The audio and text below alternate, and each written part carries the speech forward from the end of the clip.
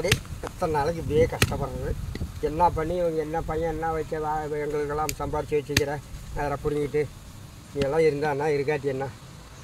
College சேர்த்து கூட போயிடலாமா இருக்குது நம்ம. போடா.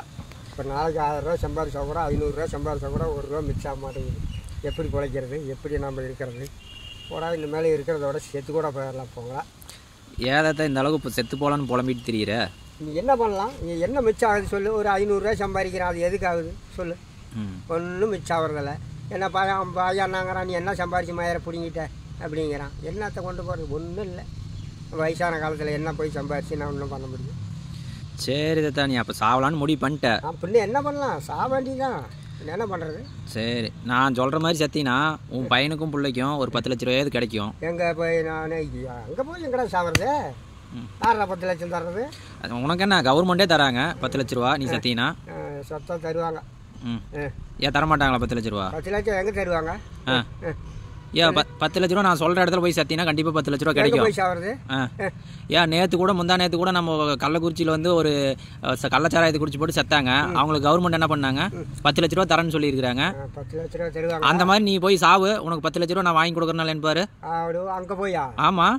அப்புறம் கவர்மெண்ட்டே கொடுக்குறாங்களே சாராயத்தை வாங்கி குடிச்சிட்டு செத்தா பத்து லட்ச ரூபா? போய் சாராஜா ஆமா. வாங்கி குடிச்சிட்டு இப்போ சாராயம் வாங்கி குடிச்சிட்டு செத்தா தான் பத்து லட்ச ரூபா கொடுப்பாங்க. முன்ன எப்படி கள்ளக்குறிச்சிக்கு போக ஆமாம் கவர்மெண்ட் இப்போ வந்து கொண்டு போய் விட்றா. ஆ. அப்படி தான் கொண்டு போய் விட்றா. இப்போ கவர்மெண்ட் வந்து எந்த வேலையும் செஞ்சாலும் வந்து காசு தர மாட்டாங்க. நீ சாராயத்தை வாங்கி குடிச்சிட்டு செத்தினா கண்டிப்பாக காசு தருவாங்க. சரி அப்படின்னா அங்கேயே தான் கொண்டு போய் விடு. ஏன் இத்தனை கஷ்டப்பட்டுக்கிட்டே பசங்க பிள்ளைங்க என்ன சம்பாதிச்சு வச்சுனுங்கிறாங்க நம்ம வயசான காலத்தில் இன்னும் என்ன போய் சம்பாதி அப்படியாவது குடிச்சிட்டு சாவுறேன். சரி ஏன்னா இந்த இந்த கவர்மெண்ட் வந்து யார் யார் சாராயம் தேடி கொண்டு கண்டுபிடிச்சி இந்த குடிச்சு சாவுறாங்களோ ஆ. அவங்களுக்கெல்லாம் பத்து லட்ச ரூபா தரேன் அப்படின்னு சொல்லியிருக்காங்க அப்படியாவது கொண்டு போய் விடு. நேற்று ஒரு முப்பத்தஞ்சு பேர் செத்துருக்காங்க தாத்தா.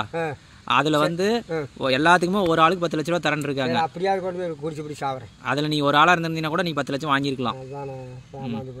பசங்க பிள்ளைங்களாம் அந்த பத்து லட்ச ரூபாய் வாங்கியிருப்பாங்க. நிம்மதியாக போடாங்கணும் அப்பன் ஒரு பத்து லட்சம் வாங்கி கொடுத்துட்டு போனான். ம். அப்படின்னு. நீ இத்தனை வருஷம் வாழ்ந்திய ஏதாவது கவர்மெண்ட் உனக்கு அப்படி தந்துச்சா? ஒன்றும் கிடையாது. வேற எதுக்காவது காசு தந்துச்சா? ஒன்றும் அஞ்சு பைசா இல்லை. ஆனால் குடிச்சு சாவுறீங்கன்னா உனக்கு காசு கொடுக்குறேன்னு சொல்கிறாங்க குடிச்சு சாப்பிட்டா காசு. எப்படா கவர்மெண்ட்டு? பார்த்துக்காங்க மக்களே. பார்த்துக்காங்க இனிமேல் வந்து யாராவது சாவணும் வீட்டு ப்ராப்ளம் அப்படின்னா போய் இந்த மாதிரி கள்ளச்சாராயம் சாராயம் குடிச்சிட்டு சாகணும் ஆ சாவணும். செத்தீங்கன்னா உங்கள் வீட்டுக்கு காசு. பத்து லட்சம். ம். அப்போ சரி பஸ் ஏறி இல்லாமல் தத்தா? ஏறு போகலாம் வா அப்படின்னு என்ன பண்ணலாம்? சரி இங்கே பாருங்க எல்லாத்துக்கும் வந்து தாத்தா சொல்கிறது என்னன்னா யாராவது வீட்டில் ப்ராப்ளம் அப்படின்னா யாராவது ம். சாராயம் குடிச்சுட்டு சாவுங்க. பத்து லட்சம் கவர்மெண்ட்டில் கொடுக்குறாங்க. ஏதோ பசங்க பிள்ளைங்க பிழைக்கிட்டோம். சரிடா அப்படி தான் பண்ணி விட்றா சரி தாத்தா அப்போ கிளம்புவோம். சரி வா போகலாம் ம். ம்.